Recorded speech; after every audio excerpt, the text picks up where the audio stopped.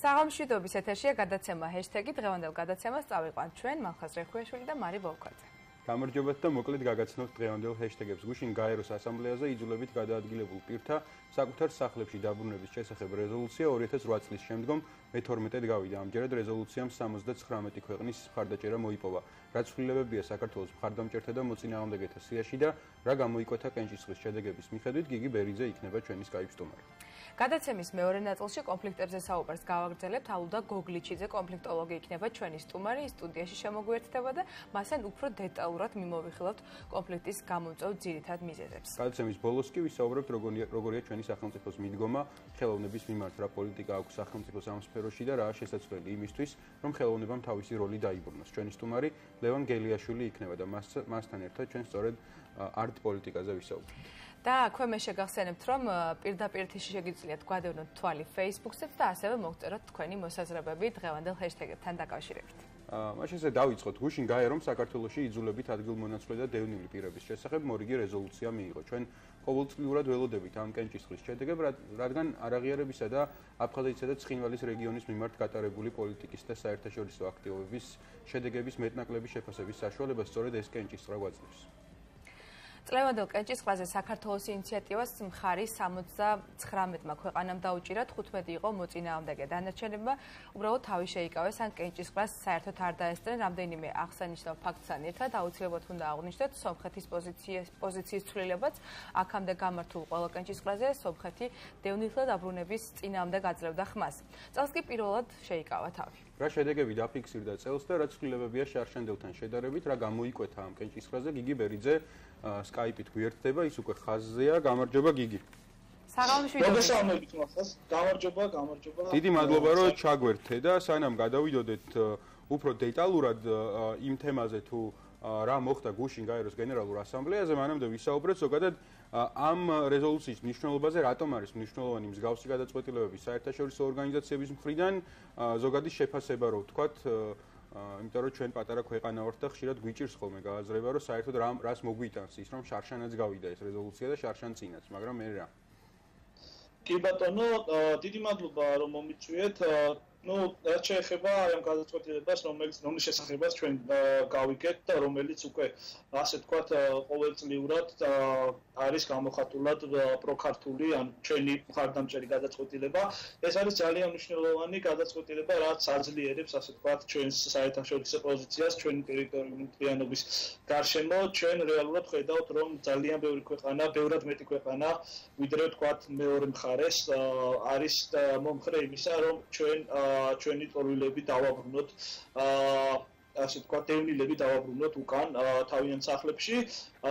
ეს გადაწყვეტილება მიუთითებს იმას რომ უკანასკნელი ასე ვთქვათ ამ ეთნოკონფლიქტებში საქართველოს სახელმწიფოს არ ჩაუდენია ის დანაშაული არ ასე ვთქვათ გადაუდგამს ის ნაბიჯები რაც მას რაც მას წაართმევდა ასე ვთქვათ აი ამ მოთხოვნის უფლებას ან ამ ტერიტორიებზე დევნილების დაბრუნების მოთხოვნის უფლებას და ხედავთ რომ ჩვენი დევნილების ასე ვთქვათ რეალობა და ჩვენი დევნილების პრობლემები საერთაშორისო დონეზე აღიარებულია და ასევე ეს კონფლიქტები აღიარებულია როგორც ასე ვთქვათ, იძულებითი ნაბიჯი, რამაც გამოიწვია ის, რომ დევნილებმა დაატოვეს რეალურად ტერიტორია აფხაზეთისა და სამაჩაბლოს. და რეალურად ეს სასახა პოზიტიური გადაწყვეტილება არის და ხედავთ ასევე იმას, რომ ქვეყნები, რომლებმაც მხარი დაგუჭირეს, არიან ძალიან მნიშვნელოვანი ქვეყნები დემოკრატიული მახასიათებლებით, თუნდაც რომ გავზომოთ. რომელი ქვეყანას გულისხმობთ, გიგი, რო გითხრათ, აი ამ მახასიათებლებით, რომლებიც შემოგვიერთნენ წელს და ა რომლებიც შემოგვიერთნენ, ნუ ამ შემთხვევაში ჩვენ უკვე გვაქვს ის რეალობა, რომ რიგმა ქვეყნებმა, რომლებიც აქამდე ასე ვთქვათ, თავს იკავებდნენ აა საქართველოს ხარდაჭერით, ხარდაჭერისგან გადადგეს ასე ვთქვათ, ნაბიჯი ჩვენს მხარეს. თუმცა აქ უკვე ამაზე არ გამიკეთებია აქცენტი. მე ვამბობ იმას, რომ დასავლეთი რეალურად ისე როგორც ამერიკის შეერთებული შტატები, გაერთიანებული სამეფო, ევროპის სახელმწიფოები არიან ჩვენს მხარეს და ეს არის ძალიან მნიშვნელოვანი. მესამე სამყაროს ქვეყნები კი სამწუხაროდ ისევე როგორც თქვა ჩვენი მოწინააღმდეგე მხარიდან, მხრიდან რეალურად დიდი ნაწილი არის მესამე სამყაროს. წინა წინა წლების წინა წლებიც რო ავიღოთ, იმიტომ რომ ჩვენ დიდი ხანია ვსარგებლობთ ამ ხარდაჭერით ამერიკის შეერთებული შტატებისგან, საფრანგეთისგან, გაერთიანებული სამეფოსგან ამ ხარდაჭერით, ხარდაჭერით დიდი ხანია ვსარგებლობთ, მაგრამ ყოველწლიურად ველოდებით რა შეიცვლება 79 იქნება ხარდამჭერების რაოდენობა თუ 82 თუ 91 როგორი ტრენდია, როგორი ტენდენცია იზრდება თუ მცირდება საქართველოს საერთაშორისო მხარდაჭერა ამ მიმართულებით?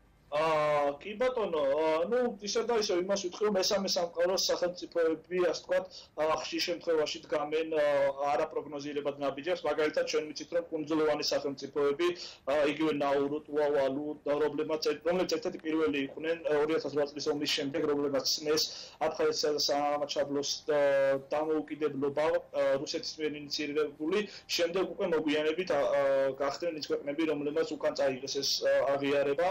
თუ თუმცა ძალიან სამწუხარო პრეცედენტის დაფიქსირდა სირიის სახელმწიფო, რომელიც რეალურად არის ეს დაშლილი და იმყოფება ალბათ სოფლის ისტორიაში ერთ-ერთ ყველაზე მძიმე სამოქალაქო ომის პირობებში. ასადის რეჟიმმა კონკრეტულად გადადგა ნაბიჯი და აღიარა აფხაზეთისა და სამაჩაბლოს დამოუკიდებლობა. აი ეს არის ასე ვთქვათ მნიშვნელოვანი რომ ის ქვეყნები რომლებიც მოდიან აფხაზეთისა და სამაჩაბლოს გამოყოფის მხარეს ან რუსეთის პოზიციას იჭერენ რეალურად არიან დამოკიდებულები რუსეთზე და დიდწილად სწორედ აი ეს არის თავარი მიზეზი თუ რატომაც არიან მოწინააღმდეგეები. ჩვენი ეს ფაქტორიც უნდა ვახსენოთ გიგი ამ შემთხვევაში წელს სომხეთმა საერთოდ არ მიიღო მონაწილეობა წილისყრაში წინაწლებისგან განსხვავებით ხო ჩვენ ვახსენეთ შესავალშიც. როგორ როგორ ხსნით ამ ფაქტს? ანუ საქართველოს უკვე შეფასდა ეს პოზიტიურ ნაბიჯად თუმცა თქვენი მოსაზრებაც საინტერესოა როგორ აფასებთ ამ მოვლენას კი ბატონო, ანუ სომხეთის აი ეს გადაწყვეტილება ძალიან მნიშვნელოვანი არის და ძალიან დიდი მნიშვნელობა უნდა მივანიჭოთ რეალურად აი ამ ნაბიჯს. კონკრეტულად რამდენიმე ფაქტორი იყო ალბათ, რამაც გამოიწვია ის, რომ მივიღეთ ეს მოულოდნელი, ასე ვთქვათ, გადაწყვეტილება სომხეთის მხრიდან. პირველი ეს არის რეჟიმის ცვლილება. აა, როდესაც ფაშინიანი, ასე ვთქვათ, მოვიდა როგორც რეფორმატორი პოლიტიკოსი და რომელმაც გადადგა მნიშვნელოვანი ნაბიჯები. აა, ფაშინიანის ფაქტორი არის ძალიან მნიშვნელოვანი, თუმცა აქ უნდა ვიშნოთ ის, რომ ჩვენი რეგიონის ტენდენციები ალბათ უფრო მნიშვნელოვანი არის კონკრეტულად გულისხმობ აი დავით გარეჯის პრობლემას. საერთოდ ასე დაინთხვა დროში ერთმანეს ეს ყველაფერი კონკრეტ დავით გარეჯის მინი კრიზისი რომელიც შეიქმნა ქართულ-აზერბაიჯანის საზღვარზე და მეორე მხრივ აი სომხეთის ეს გადაწყვეტილება რომ არ წასულიყო საქართველოს წინააღმდეგ გაეროს გაეროს აი ამ რეზოლუციის მომენტში კიდევ ერთი მნიშვნელოვანი ფაქტორია, რომ სომხები როგორც ასეთი ამართლებდნენ თავიანთ ნაბიჯებს, იმხრივ რომ ეს გადაწყვეტილება დევნილების დაბრუნების არ ეხებოდა მხოლოდ მხოლოდ საქართველოს, არამედ რეგიონში ზოგადად დევნილების გადაწყვეტილებას ეხებოდა. აქედან გამომდინარე, ისინი ხარს დაუჭერენ აზერბაიჯანელი ტორვილების დაბრუნებას ყარაბაღის ტერიტორიაზე, თუმცა აღმოჩნდა, რომ დღეს მათ ეს ნაბიჯი არ გადადგეს და არ წავიდნენ აი ამ ინიციატივის წინააღმდეგ. გიგი უკვე გაისმა შეფასება იმასთან დაკავშირებით, რომ სომხეთის ეს ნაბიჯი შეიძლება შეფასდეს როგორც დემოკრატიზაციის პროცესის გავლენა საერთაშორისო ურთიერთობებზე, ანუ შეფასდეს როგორც თუ ქვეყანა არის დემოკრატიული სახელმწიფოს შიგნით, მაშინ მისი საგარეო პოლიტიკაც მისდევს საერთაშორისო სამართლის ნორმებსო. წავიკითხე რამდენიმეგან ეს მოსაზრება, თუმცა სანამ შემდგომ კითხვაზე გადავიდოდე, მინდა მანამდე მოვისმინოთ ჩვენი ელჩის გაეროს ჩვენი წარმომადგენლის კახა იმნაძის განცხადება და დაგიბრუნდებით შემდგომ სხვა კითხვებით.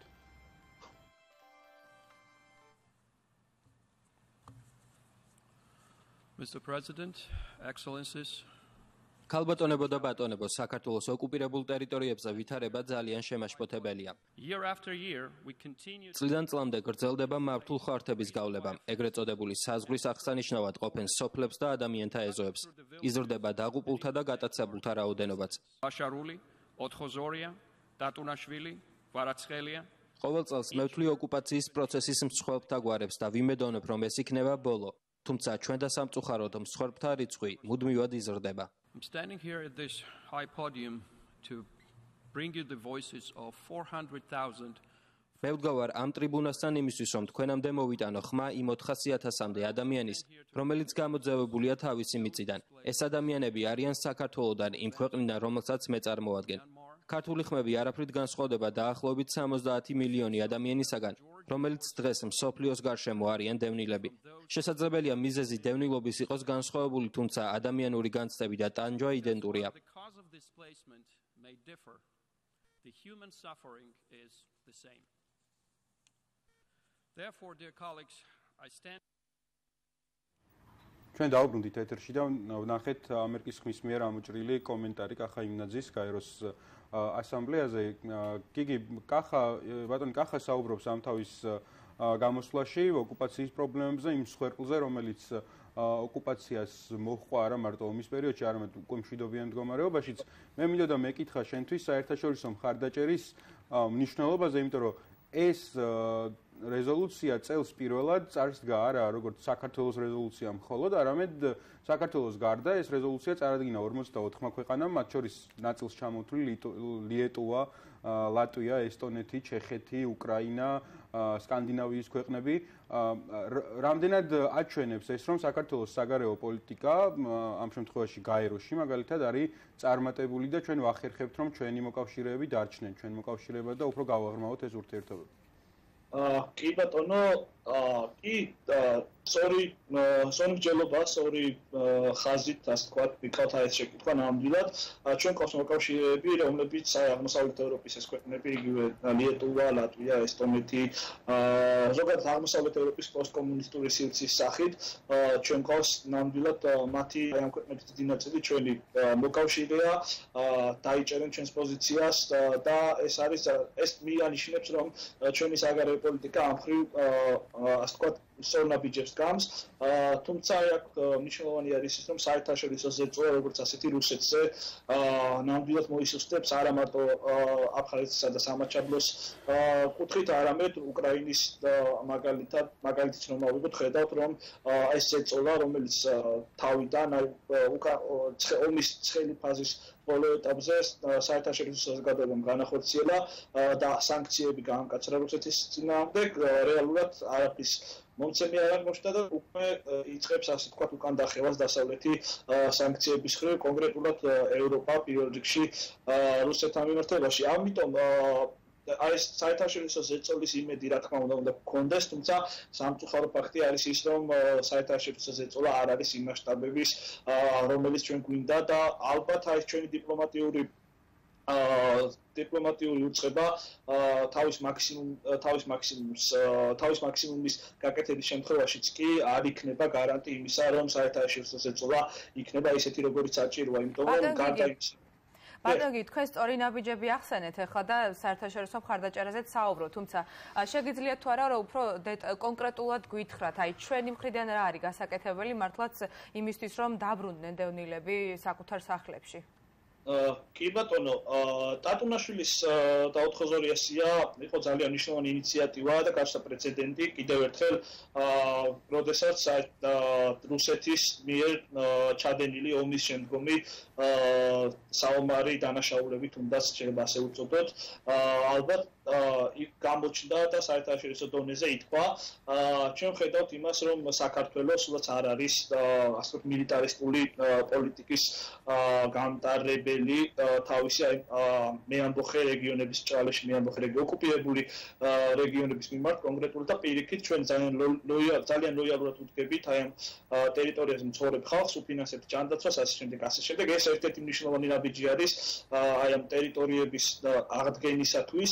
საერთაშორისო დონეზე კი აი ამისთვის გასაკეთებელი ასე ვთქვათ რეალურად ჩვენზე არ არის დამოკიდებული ძალიან ბევრი რამ არის ინტერესები, არის ასე ვთქვათ ეკონომიკური ინტერესები, რომლებსაც ჩვენ გვერდი ვერ აუქცეთ თუნდაც ბუდაპეშტის სამიტის დროს, როდესაც გერმანიამ მაგალითად პირველ რიგში უარი თქვა საქართველოსთვის მაპის მიცემაზე და ეს ეკონომიკური ინტერესები მუდმივად იქნება აი ჩვენი უსაფრთხოების პრობლემებთან აა მუდმივ შეხლა შემოხლაში და ჩვენ მოგვიწევს აი ამ შეხლა შემოხლიდან გამოსული აა კონკრეტული აა დივიდენდებისათვის ბრძოლა და არ შეიძლება ითქვას რომ უპირობო მხარდაჭერა იქნება ოდესმე ჩვენს მიმართ დასავლეთის მხრიდან ეს მათ შეიძლება თუნდაც დემოკრატიზმის გამო სურდეთ.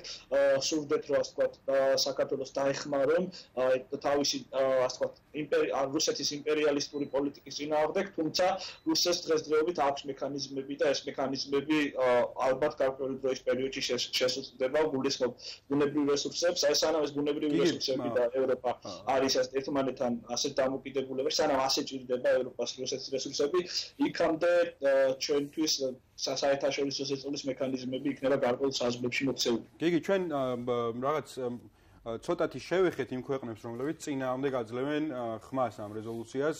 ვახსენეთ, რომ ამ ქვეყანათა უმრავლესობა არის არადემოკრატიული, ხშირ შემთხვევაში ეკონომიკურად ნაკლებად განვითარებული ქვეყანა, რომელიც პირდაპირ არის დამოკიდებული რუსეთზე, როგორც ფინანსურ წყაროზე, როგორც რეჟიმის შენარჩუნების წყაროზე და ასე შემდეგ. იმიტომ რომ ხშირად ამ ქვეყნებში არიან სახელმწიფოები, რომლებიც უბრალოდ რეჟიმს ვერ შეინარჩუნებს მართველი ძალა რო არა რუსეთის მხარდაჭერა. ეხლა მე მინდა კითხო იმ ქვეყნებზე, რომლებიც თავს იკავებენ, მაგალითად ასეთი ქვეყნებია ყირგიზეთი, ტაჯიკეთი, ბელორუსი, მართალია არც აქ არის მაინდა-მაინც სახარბიელო დემოკრატია და ეკონომიკური მდგომარეობა, მაგრამ ამ ქვეყნები, რომელთანაც იდეაში ნორმალური ურთიერთობა გვაქვს, მაგალითად ბელორუსი არაფრით არ ცნობს საქართველოს დაშლას და აფხაზეთს არ ცნობს დამოუკიდებელ სახელმწიფოდ, როგორ უნდა მოახერხოთ, რომ ეს ნეიტრალური ქვეყანა, რომლებიც თავს იკავებენ, ქვეყნები, რომლებიც თავს იკავებენ 50-ზე მეტი, როგორ უნდა დავაბრუნოთ საქართველოს მხარდამჭერთა სიაში? აა კი ბატონო, აა იგივე ბელარუსის მაგალითი რომ ავიღოთ, რომელიც თავს იკავებს აი ამ რეზოლუციაში ჩვენთვის ასაგებრივ გადაწყვეტილების მიღებისაგან, აა უნდა ვთქვათ, რომ ბელარუსი რეალურად არის საბჭოთა ასე ვთქვათ საბჭოთა სივრცის ის მემკვიდრე რომელიც რუსეთთან ერთად ყველაზე მინიმალურად დაზარალდა ალბათ რუსეთზე მეტად მეტადაც კი მინიმალურად დაზარალდა აი ამ ყევებისაგან რუსეთს ბელარუსი ძალიან დიდი ასე ვთქვათ და ძალიან დიდი კავშირი ძალიან დიდი დამოკიდებულება აქვს რუსეთთან ეკონომიკური და ამიტომ თუნდაც ლუკაშენკოს უწევს რიგი საკითხების დათმობა. ას თუმცა აქ უნდა თქვა ის რომ ალბათ ეს ახალი კონფლიქტის გაღვივება აფხაზეთსა და სამაჩაბლოში რომელიც შეიძლება მოხდეს იმ შემთხვევაში თუ ჩვენ გადავდგავთ ამ ნაბიჯს ან იქნება პროვოკაცია ბელარუსისთვის არის არასასურველი რადგანაც მას კიდევ უფრო ცუდი რადიკალური ნაბიჯების გადაგმა მოუწევს თუნდაც აი პარტნიორის მათ როგორც ჩვენ ვართ და ეს არის მინიმალური რასაც ისინი აკეთებენ ჩვენ საწინააღმდეგოდ ამ ეტაპზე და არ მიდიან ისე შორს როგორც არის თქვა საქართველოს აი ოკუპირებული ტერიტორიების დამოუკიდებელ სახელმწიფოებად აღიარება თუმცა ხედავთ რომ მაის გარკვეულ დონეზე მათ უწევთ რუსეთის ინტერესის გათვალისწინება. აბსოლუტურად სწორად აღნიშნეთ რეჟიმის შენარჩუნებელი პოლიტიკა რომელსაც რუსეთის მიმართ ატარებენ ეს აი ეს რიგი ქვეყნები მაგალითად ვიტყოდი ნიკარაგუას, ვიტყოდი ვენესუელას, ვიტყოდი თუნდაც ბელარუსსაც აი გარკვეულად ეს ახასიათებს. იგივე ჩრდილოეთ კორეა, რომელიც ეს ქვეყნები რეალურად არიან ძალიან დიდი ვალდებულების ქვეშ რუსეთთან მიმართებით, მათ აწვის რუსეთი ძალიან დიდი რაოდენობით დიარას და ეკონომიკურადაც ისინი დამოკიდებულები არიან რუსეთზე, ამიტომაც ისინი რეალურად არ გადადგამენ ან სხვა ალტერნატიულ ნაბიჯს და გააგზელებენ რუსეთთან ერთად აი ამ პოლიტიკას, თუმცა დავინახეთ, რომ ეს სომხეთი თუნდაც რომელიც ალბათ ყველაზე მეტად არის დამოკიდებული რუსეთზე იარაღით და ეკონომიკურადაც მოიქცა სხვა მხრივ და ეს უფრო იმის ბრალია. გამბედავად შეიძლება ვთქვათ, ხო? დიახ. თავსახად. იგი ჩვენი ისტორიული ურთიერთობებიდან, გეოგრაფიული მდებარეობიდან და ასე ვთქვათ, შორს მიმავალი სტრატეგიული გეგმებიდანაც გამომდინარეობს, სომხეთს ჭირდება რეგიონში მოკავშირე და ჩვენი წონა ასე ვთქვათ, ბევრად უფრო დიდია, ჩვენი როლი სომხეთისათვის, ვიდრე ასე ვთქვათ, რომელიღაც სახელმწიფო, რომელიც წინააღმდეგას მათ უნდა მისცენ მათ უნდა მისცენ ხმა გაეროს რეზოლუციას. ყველა გადაწყვეტილებას აქვს პოლიტიკური წონა, მოკლედ. მადლობა გიგი, რომ ჩვენთან ერთად იყავი. აა იმედს დავიტოვებ, რომ ტრენდი რომ დემოკრატიზაცია საგარეო პოლიტიკაზე ახდენს გავლენას და დემოკრატიების ერთად ერთმანეთთან კარგად ურთიერთობენ. თუმცა ძალიან კარგი იქნებოდა ნამდვილად რომ მე მე მინდა რომ ეს მჯეროდეს უფრო ვიდრე ჩემი აზრია, გიგი. დაგემშვიდობებით ახლა მადლობა რომ ჩვენთან ერთად იყავი გიგი ბერიძე. მაყურებელს შევახსენოთ პოლიტოლოგი გიგი ბერიძე იყო ჩვენი გადაცემის სტუმარი რომელიც გვერდებოდა Skype-ით.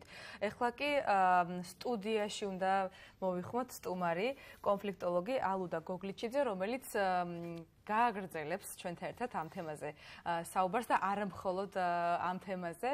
მორდანით ბატონო ალუდა. დიდი მადლობა რომ ხართ ჩვენი გადაცემის სტუმარი. ბატონო, მოკლედ უნდა გავაგრძელოთ რეზოლუციის თემა. ჩვენი სტუმარი საუბრობდა ახლა ამ თემაზე. რა პოლიტიკური კონტექსტი აქვს ამ რეზოლუციას? ამითი დავიწყოთ, მოდით, რაც გუშინიდან ვიხილეთ გაეროზე.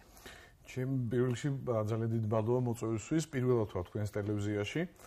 და ძალიან საინტერესო თემაზე ვარ ბათუმში, ვატარებ ტრენინგს, კონფლიქტოლოგი ცოტა ხმამალა იყო, თქვა, მაგრამ ეს მიმართულება, ეს სოდნა და განათლება ნამდვილად არის ძალიან მნიშვნელოვანი.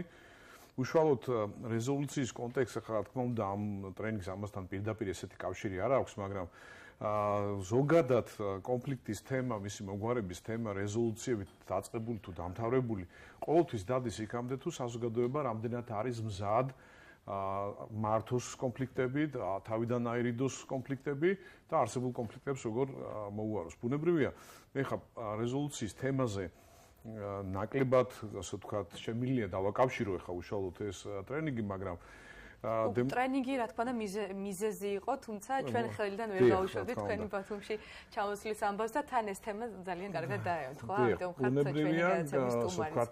არის გარე ფაქტორები, არის საერთაშორისო ფაქტორები, არის საერთაშორისო პოლიტიკა, საერთაშორისო ურთიერთობები, მაგრამ საბოლოო ჯამში მაინც ჩვენ უნდა ვიცოდეთ ერთი რაღაც, რომ კონფლიქტის კონტექსტ აქვს შემდეგ მეორე მხარეც, რომ რავშვებით ჩვენ საზოგადოებები უშუალოდ ამ კონფლიქტის მონაწილე მხარეები.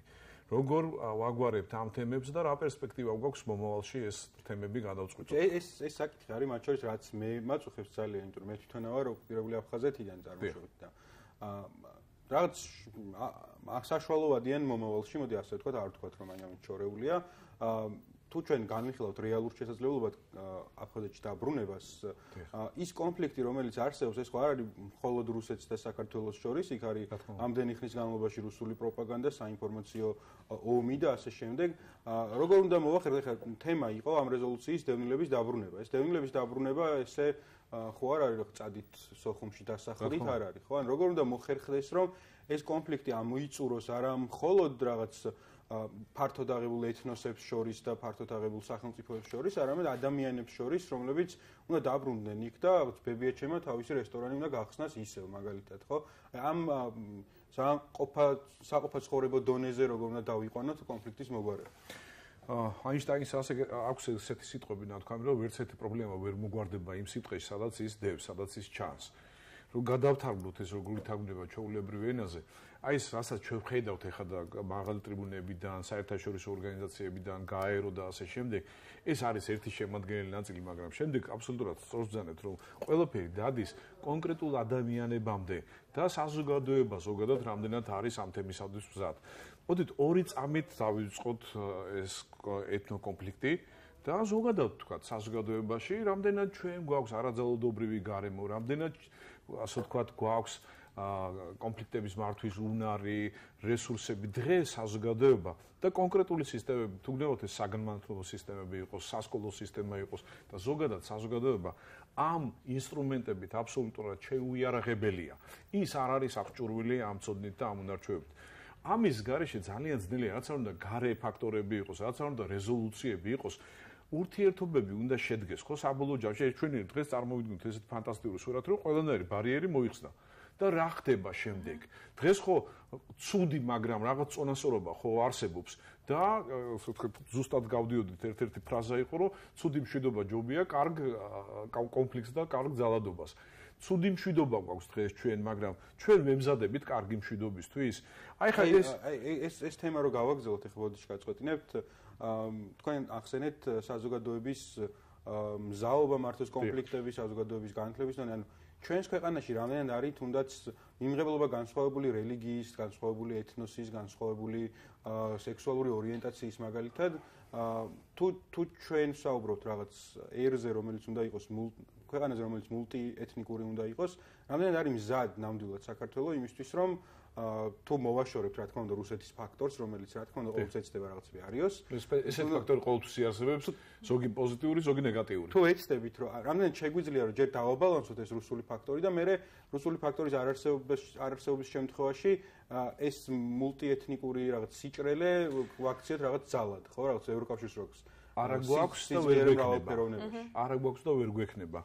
უნარი თუ როგორ მოვიქცეთ კონფლიქტურ სიტუაციებში და როგორ მართოთ ზოგადად კონფლიქტები ინტერპერსონალური ადამიანის შორის კონფლიქტებიდან დავიწყოთ. მოდით იმიტომ რომ ეს ესე ვერ იქნება საკუთარ ორგანიზაციები და სახელმწიფოები განყენებულად არ არსებობს. დაფუძნებულია რამოდენიმე ფაქტორს. ერთ-ერთი თუ როგორ მოქმედებთ ჩვენ ასეთ მსგავს სიტუაციებში არის სოციალური ფაქტორი ოჯახი აღზრდა ტრადიციები მემკვიდრეობა და ასე შემდეგ. მეორე არის განათლების სისტემა, თუ რა განათლების სისტემაში ვართ და მოდით ვთქვათ, ამ წუთას ჩვენ არაფერი არ აქვს ამბართველი. ფაქტობრივად, მინიმალური რაღაცები გვაქვს, რომელიც ვერ ახდენს გავლენას ამ კუთხით ცოდნის და განათლების გავრცელებაზე და მესამე არის გამოცდილება.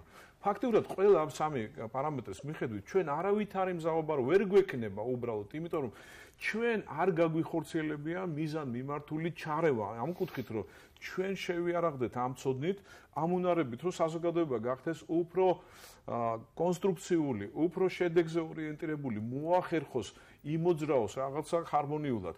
მე მაგალითად რა სცენარით მიდის ახლა აი კონფლიქტის მოგვარების პროცესი? აი არ მხოლოდ აფხაზებთან, ოსებთანაც კონფლიქტი. ჩემის აზრით მიდის უფრო სტიქიურად დონეზეც განვითარება. გარედინებები განსაზღვრავს. გამოცდილებაც გაქვთ.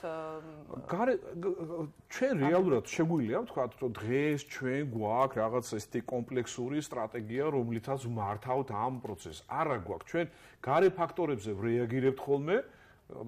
ეფექტურად არაეფექტურად ამას არ აქვს მნიშვნელობა. რაც არ უნდა რუსეთი ვახსოვთ მე ეს მაგონებს ადამიანის ორგანიზმს მაგონებს როცა ავატყდება და ვირუსი შეიჭრა იტყვიან ხოლმე ვირუსი სულ არსებობს პრობლემა ავტყოფობა წარმოიშობა, როდესაც შიდა იმუნური სისტემა სუსტდება და ორგანიზმი რეზისტენტული ვერ არის გარე ფაქტორის მიმართ. რუსული და ნებისმიერი ფაქტორი ნეგატიური რაც იქნება, მაშინ იქნება მას გავლენა, როდესაც და ვერ ექნება უბრალოდ გავლენა, როდესაც საზოგადოება დაცულია ასეთი შემოტევებისაგან. დღეს ჩვენ აბსოლუტურად დაუცველი ასე ვთქვათ საზოგადოება გვაქვს. მაგალითისთვის ავიღოთ, აი ხორავას ქუჩის ტრაგედია. ხა იქაც ხო რუსეთი არისო, ხო? ჩვენ მივედით ამ ტრაგედიამ და უცებ აღმოჩნდა, რომ რაღაცა თურმე რამდენი დაგროვილი პრობლემა არის უამრავი პოლიტიკური პოლარიზება მათ შორის. ხო, აი პოლიტიკალს უმოვაშოროთ, მოზარდები აი როგორ არკვევენ ერთმანეთთან ურთიერთობებს. ბუნებრივია ესეთი რაღაც ძალადობა ყველა საზოგადოებაში ხდება, მაგრამ აქ თავარია რა მასშტაბებია, რამდენად ხდება მისი პრევენცია, თავიდან აცილება და ზუსტად აქ არის საქმე, რომ აი სამი კომპონენტი, რომელიც მე ჩამოვთვალე, ჩვენ აბსოლუტურად არავით არის მზაობა არა გვაქვს. არც პოზიტიური გამოცდილება გვაქვს, არც განათლების სისტემა. მაშინ აი ისევა ლოგიკური კითხვა იმ რეზოლუციებს და საერთაშორისო აღიარება, არაღიარებას რა რეალური გავლენა აქვს საერთოდ აი ამ პროცესზე? და აქვს რეალური გავლენა. მოდი რამდენი ხანი რეზოლუციები მიდის და რამდენი ხანი გაგრძელდება.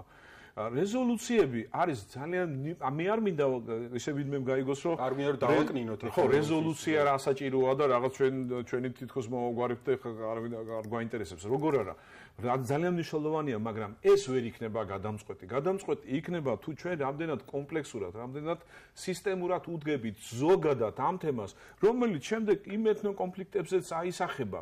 თავისთავად მოხდება ეს ბუნებრივად თუ არაფერს არ ვაკეთებ და მე არავით არის სოდა და უნარჩვევა არ მაქვს, როგორ მართო ეს პროცესი.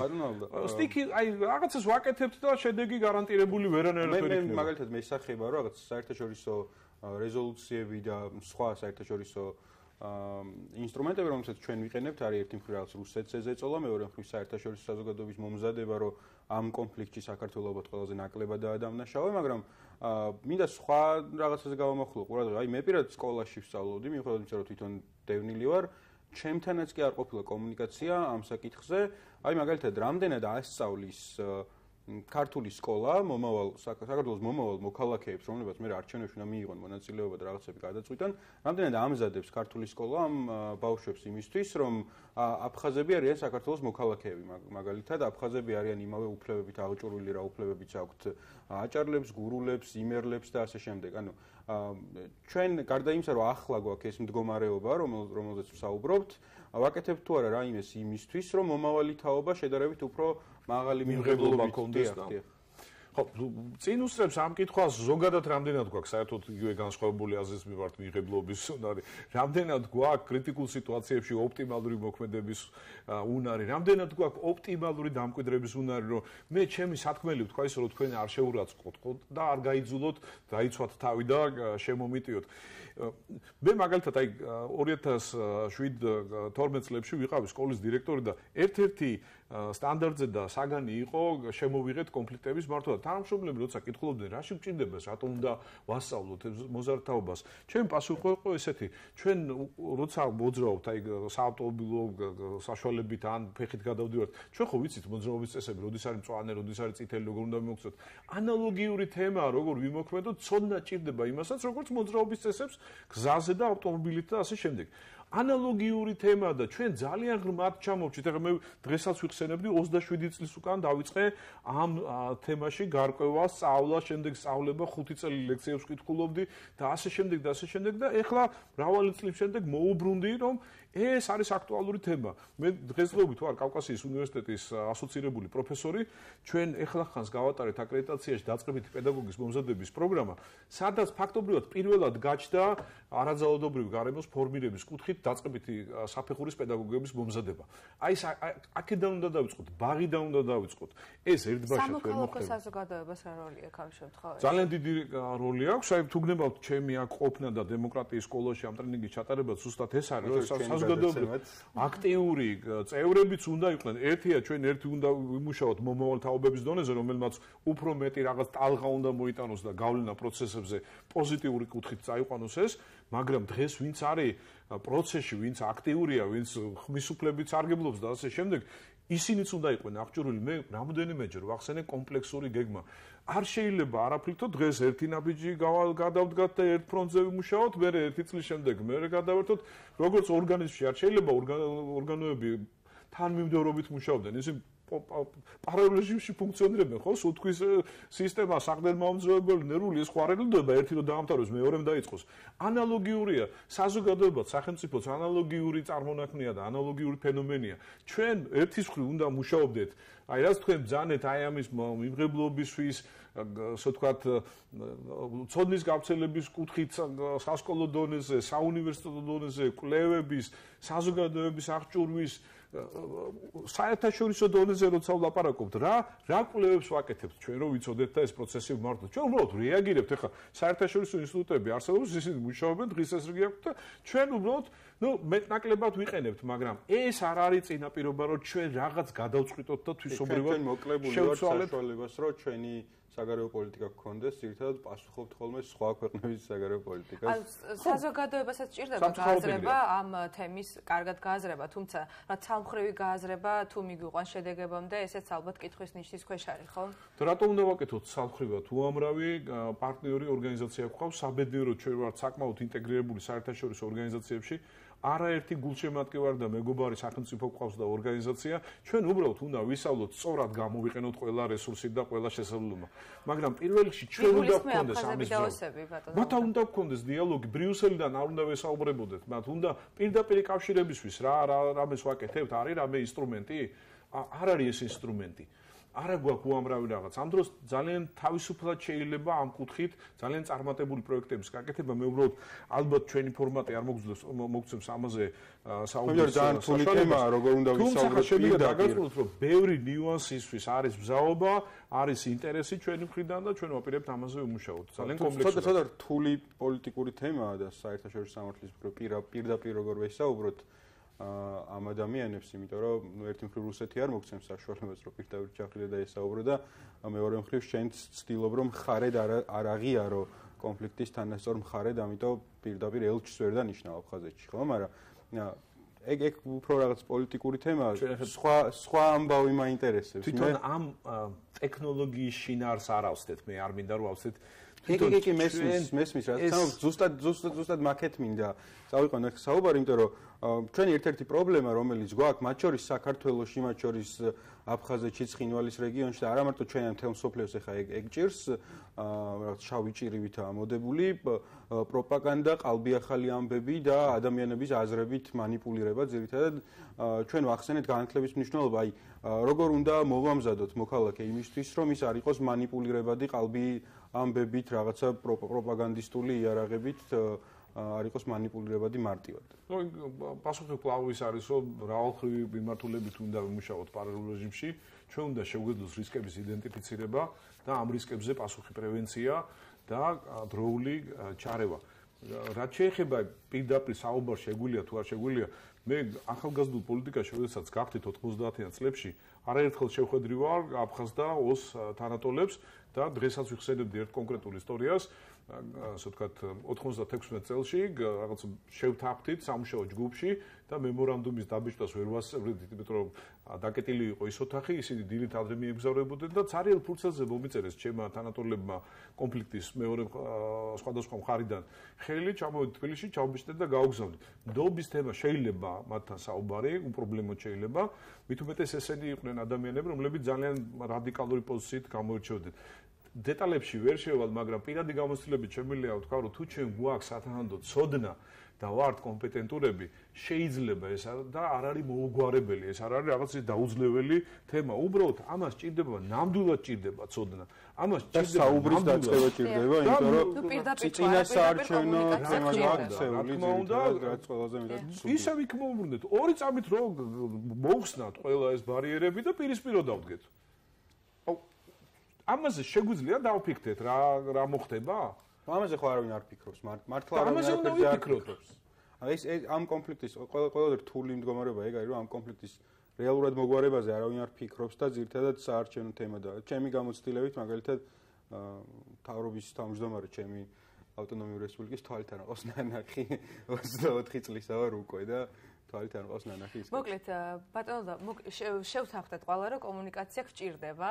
ცოტა გჭირდება. და როგორ პირდაპირ არა პირდაპირ რა ფორმით, მაგრამ ამ ადამიანებთან კონტაქტი გჭირდება და ჩვენ უნდა გქონდეს პასუხები მათთვის. და ვიფიქროთ და ვისაუბროთ. ვიფიქროთ და ვისაუბროთ, ეს არის გამოსავალი ძალიან დიდი მადლობა. მე დავუმატებდი ვიმოქმედოთ. აა ბევრი კითხვა და სიამოვნებით გავაგრძელებდით თქვენთან საუბარს, თუმცა კიდევ ერთი სტუმარი გვეღოდება Skype-ში, ჩვენ ამჯერად უნდა დაგემშვიდობოთ თქვენ. ძალიან დიდი მადლობა თქვენ. მადლობა გითხრათ სტუდიაში მოსვლისთვის, მაყურებელს შევახსენებ თავდა გოგლიჩიძე ხმამაღლა ნათქვამიო, მაგრამ მაინც კონფლიქტოლოგი ესე ვიტყოდით. ძალიან დიდი მადლობა. ჩვენ კი უნდა სულ სხვა თემაზე გადავიდეთ, პოლიტიკაზე, თუმცა ამჯერად უკვე კულტურის პოლიტიკაზე. მაგრამ უნდა დავიმშვიდობოთ, შეგიძლიათ ფაქტობრივად დიდი მადლობა, რომ ჩვენთან იყავით. ეს 20 20 წუთი და გადავიდეთ კულტურის პოლიტიკაზე ვისაუბროთ. ლევან გელიაშვილი გვერდება ვენეციიდან, როგორც ვიცით. კი ბატონო, მეც არ გამიკვირდა ფანჯრიდან ხედი რატოა თქო? უცებ ბათუმში სადიპოა ეგეთ ფანჯერა თქო? საღამშვიდობის ლევან. მოგესალმებით. გესმით ჩვენი ხმა?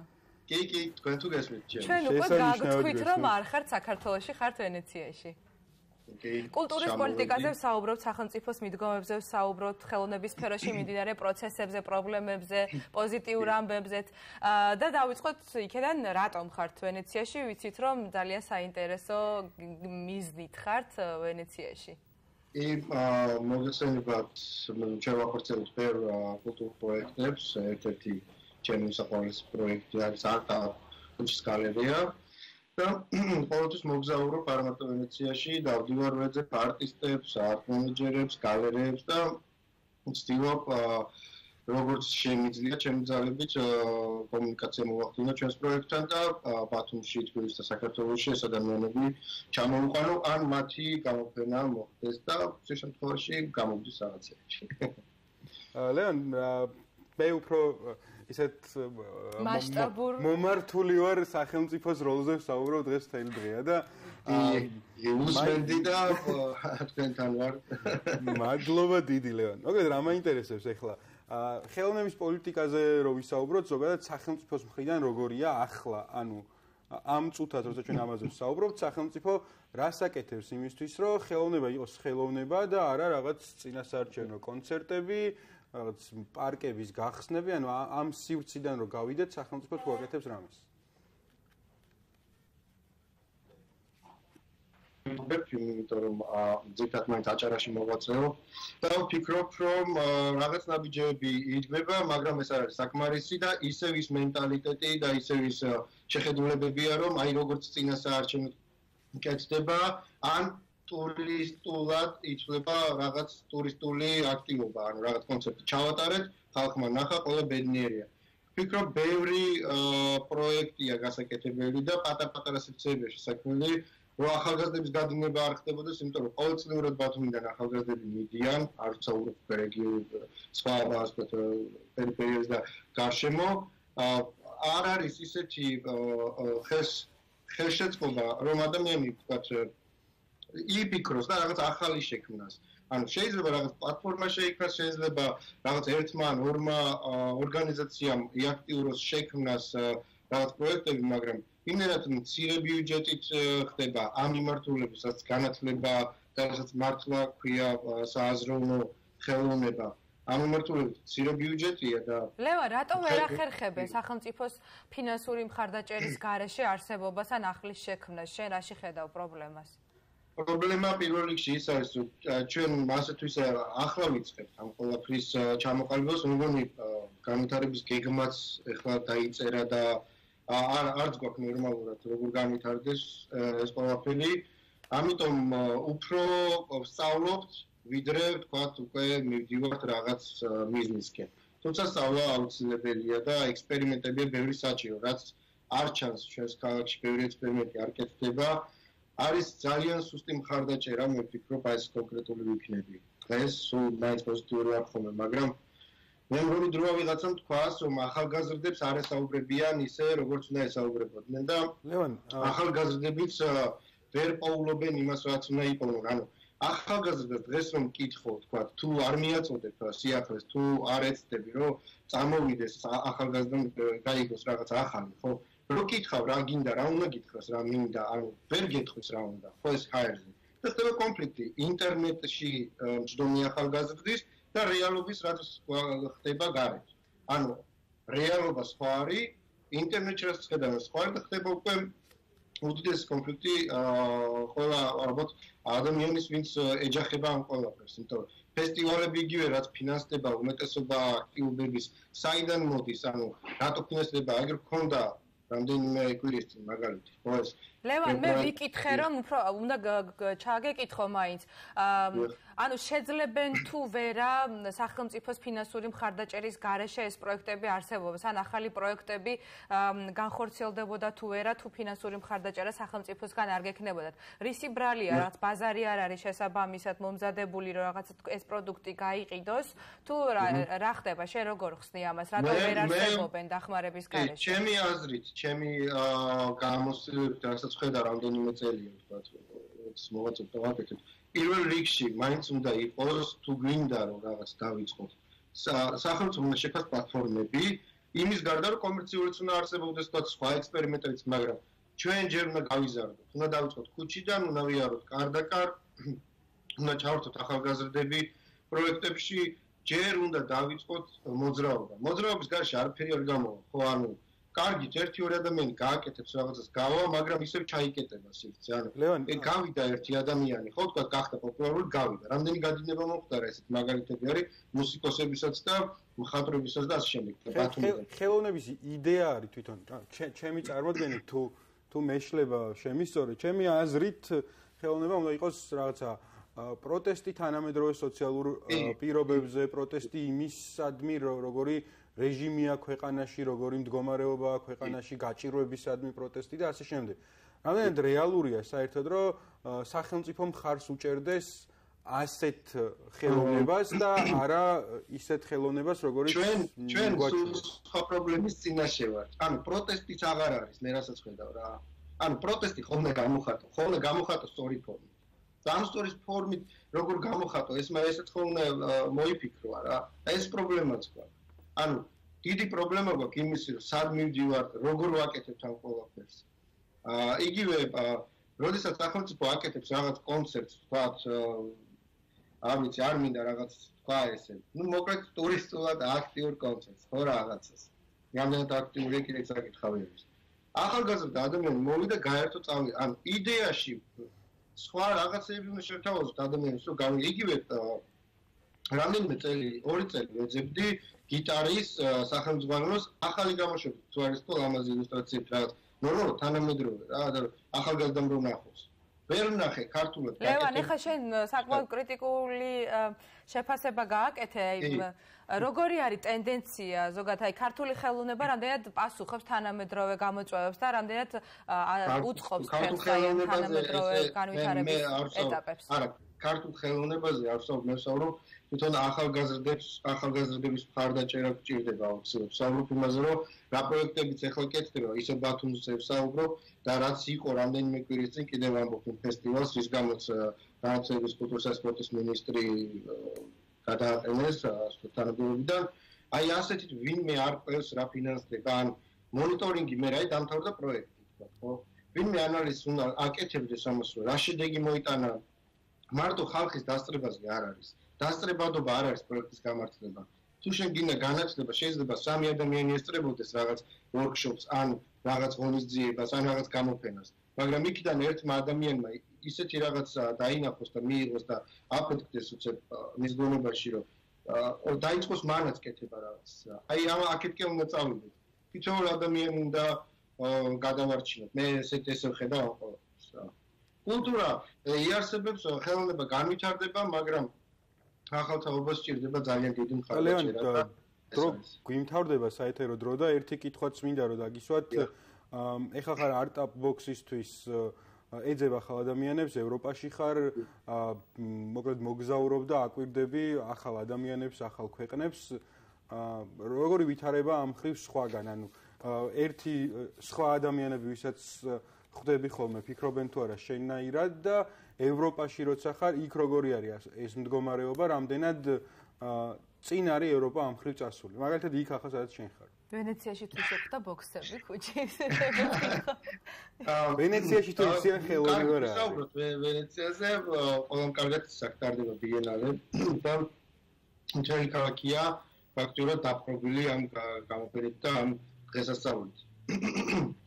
უკაცრავად და ყველა სივრცეში, პატარა სივრცეებში გამოფენები ძალიან საინტერესო ლოკაციები აქვს შეგული სადაც ვერ წარმოიდგენთ რა შეიძლება აღმოაჩინოთ პროფენა ან რაღაც ინსტალაცია საუნდები ვიდეო ყველანაირი არ არის აქ შეზღუდვა.